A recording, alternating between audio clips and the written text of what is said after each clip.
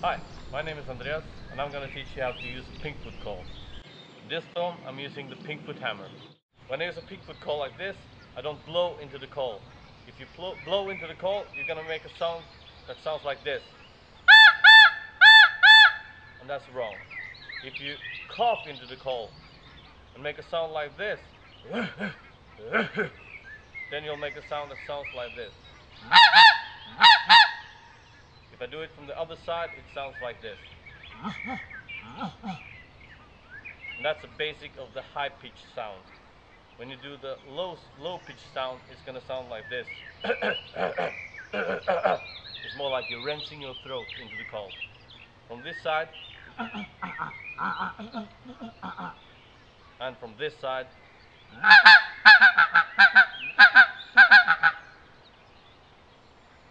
that's the basic sounds uh, that you make with the call without using the hands.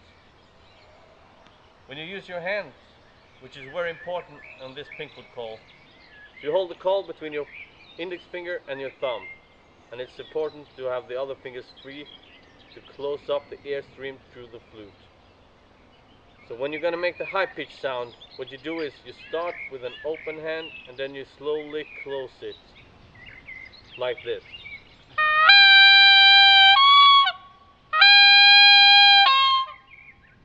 Might be easier to use both hands and eventually you're going to use both hands anyway.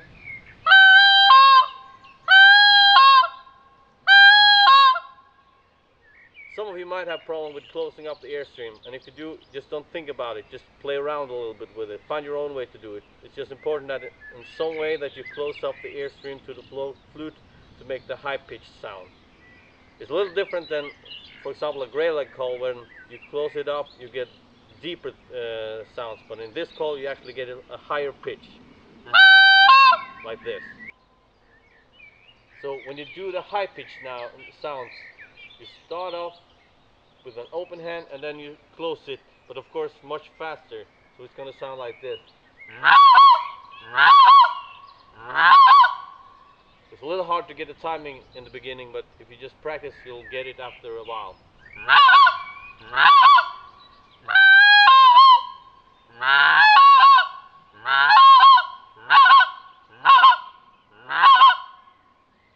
The high pitch sound. Remember, cough into the call and close up your hands like this. Now we're gonna do like a mid-tone. And what you do is you cough the same way into the call, but you don't close up your hands. You have them a little open all the time. So it's gonna sound like this. You can hear the difference. You have and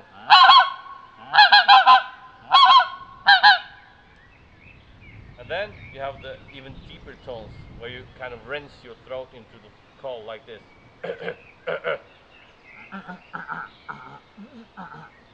and it sounds like this without hands. and what you do is you close it a little bit off and you, you kind of play around with it.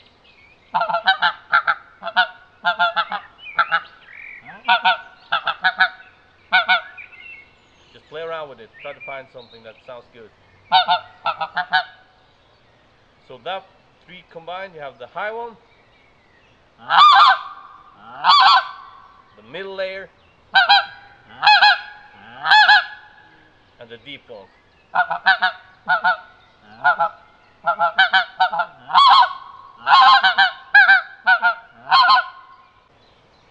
So when you listen to a flock of pinkfoots, you'll hear they have a lot of different sounds.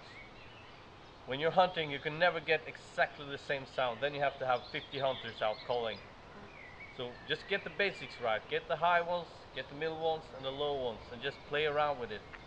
If you just take your call to a hunt and play around with it, you'll definitely get geese in. So let's pretend we're in a hunting situation. We see them far out, we see the geese passing and we want their attention. Then we start with a really high sound just to get their attention, like this.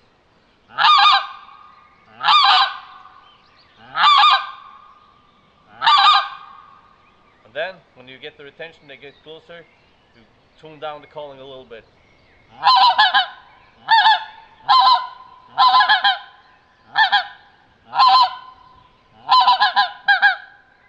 And then they, when they're real close, you even go further down.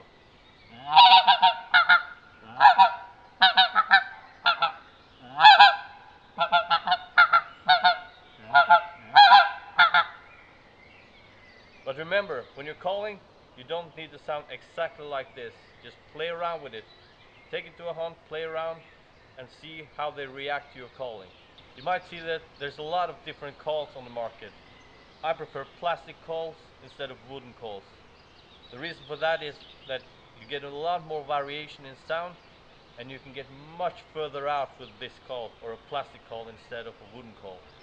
It might be easier to blow in them but you don't get the same sounds and you'll never get as far out as this one. So when you're out there you might hear that the Pinkfoot makes a lot of noise like we said earlier but remember don't get tempted to overcall. Keep your calling a little bit down. You're not su supposed to sound like a flock of thousand geese. So don't overcall. And remember, if you if this doesn't work for you, don't give up. Just try something different. Just practice and take the call to a hunt. Try it out, find your way, and when it when it works, you'll feel it. It works. So good luck out there.